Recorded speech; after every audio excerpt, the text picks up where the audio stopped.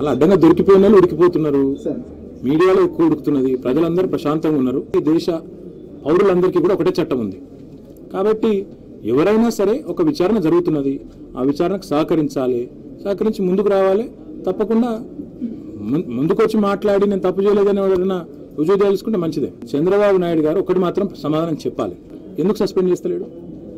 ఏమడ్డం వస్తుంది? భయమా? సస్పెండ్ చేస్తే రేవంత్ రెడ్డి బట్టలు ఇప్పేసి నగ్నంగా నిలబెడతాడు చంద్రబాబు నాయుడు అని భయమా? ఏం భయం? ఆ గొంతు నాది కాదంటాడు. రెండిట్లో ఏదో ఒకటి కరెక్ట్ అవుతుంది రెండిట్లో కరెక్ట్ అయితే బ్రదర్ మిడకాయ మీద తలకాయ నువ్వు ఎవడని చెప్తాడు.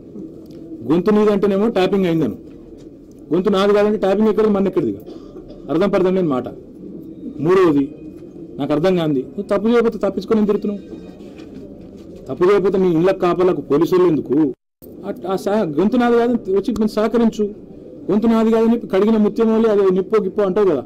రా. నిప్పులాగా బయటికి రా. కడిగిన ముత్యంలాగా రా. నువ్వే సహకరించు. ఎవరో నోటీసులు ఇస్తారని తీసుకోవద్దని ఇళ్ళల్లో ఆదేశాలు ఇచ్చు ఇవన్నీ ఎందుకు బాధ? మంచిగా విచారణ ఎదుర్కో. నువ్వే ముందుకు రా. సహకరించు. కడిగిన నిప్పోలే అదే కడిగిన ఏమంటారు కడిగిన ముత్యమోలే నిప్పోలే. బయటికి రా. నువ్వు నిప్పో కందిపప్పు విచారణ చెప్తుంది.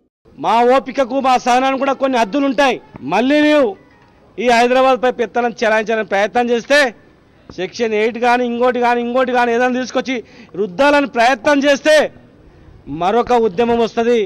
మళ్ళా నీకు ఈ హైదరాబాద్లో తెలంగాణ రాష్ట్రంలో నీకు దీనికి సహకరించినటువంటి వాళ్ళకు పుట్టగతులు కూడా ఉండవు ఇక్కడ.